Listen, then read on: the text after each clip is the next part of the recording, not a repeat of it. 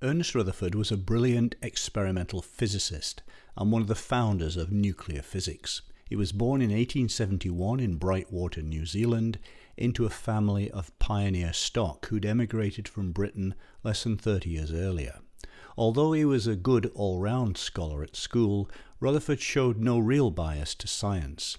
In 1890, he entered Canterbury College at Christchurch, where his scientific ability became apparent and he graduated with first class degrees in both science and mathematics. He continued at Christchurch doing research and developed a detector for radio waves which depended on the magnetization of iron.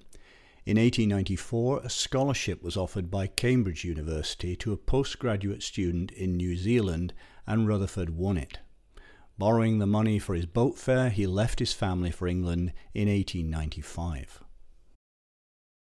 At Cambridge, J.J. Thomson was professor at the famous Cavendish Laboratory and was at this time working on experiments into gases which conduct after exposure to the recently discovered X-rays.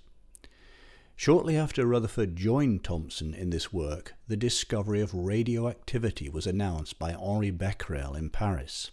In 1897, Thomson announced his proof of the existence of the electron, but Rutherford was already working on experiments on gases which conduct after exposure to radioactivity. During this year, he noted many of the properties of radioactivity and became acquainted with the experimental methods in this new science. In 1898, Rutherford applied for a research professorship at McGill University in Montreal. Still only 27, Rutherford became a professor there and began his first great period of scientific discovery. In 1901, the English chemist Frederick Soddy helped Rutherford with his work on radioactivity, and within about a year they'd realized that a radioactive atom changes to a different atom on emission of radiation. Together they published papers on the cause and nature of radioactivity and on the spontaneous transformation theory of radioactivity. Rutherford also worked on alpha particles and published a general paper on radioactive change in 1903. In 1904, his first book, Radioactivity, was published.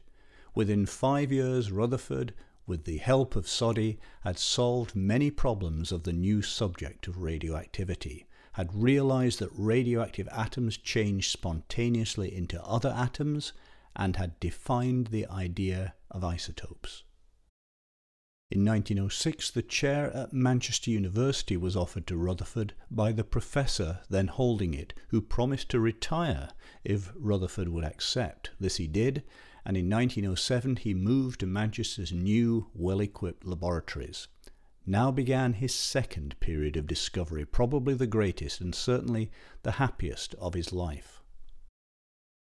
In 1908, Rutherford received the Nobel Prize in Chemistry for his work on radioactivity, but was now investigating the properties of alpha particles with the help of some of his 15 research students. A series of experiments led him to believe that alpha particles were in fact helium atoms, and to prove this, in 1909 he performed a simple and clever experiment. A substance, radon, which emitted alpha particles, was placed outside a closed evacuated tube having metal electrodes at each end. After a few days, high voltage was applied between the electrodes and the spectrum of the electric discharge which took place clearly proved the existence of helium atoms in the tube. The alpha particles must have travelled through the walls of the tube and collected, and the alpha particles must be helium atoms. In fact, we now know that alpha particles are helium nuclei. In 1911, Rutherford proposed his most revolutionary idea concerning the existence of the atomic nucleus. Up to this time, the atom was thought of as being a positively charged sphere with negatively charged electrons moving about inside. Two of Rutherford's workers, Geiger and Marsden, found that several alpha particles bounced back from a thin foil of metal when many alpha particles were allowed to hit the foil. To explain this, Rutherford assumed that the entire positive charge of the atom is concentrated in a very small nucleus and that the electrons occupy the space outside the nucleus. In a separate video, I'll talk more about this experiment. This was a revolutionary idea in 1911 the greatest change in our concept of matter since the time of the ancient Greeks. Rutherford's nuclear theory provided the basis for the new science of nuclear physics. In 1912, Niels Bohr, the great Danish physicist, joined Rutherford and put forward the Bohr model of the atom, thus obtaining general acceptance of the nuclear atom. In 1914, the Great War began, and the research group was dispersed. After a period away from Manchester, Rutherford returned to academic research in his empty laboratory and began his third period of discovery.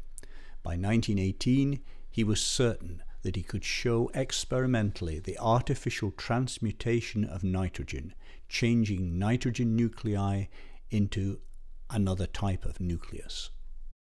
By 1919, Rutherford had become Cavendish Professor at Cambridge and he rapidly confirmed the artificial transmutation of nitrogen, Alpha particles from polonium were allowed to pass through nitrogen gas.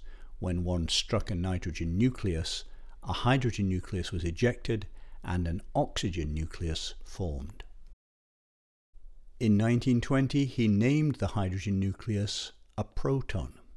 And although he did a great deal of research work, he found himself getting more involved in the administration and organization of research. The Cavendish grew in size and reputation under his leadership, but the discoveries were now made by the people under him, aided by his interest and enthusiasm. Rutherford served as president of the Royal Society from 1925 to 1930, and in 1931 his greatest achievement was recognized when he became Baron Rutherford of Nelson. Active in science to the end, Rutherford died after a brief illness in October 1937 and was buried in Westminster Abbey.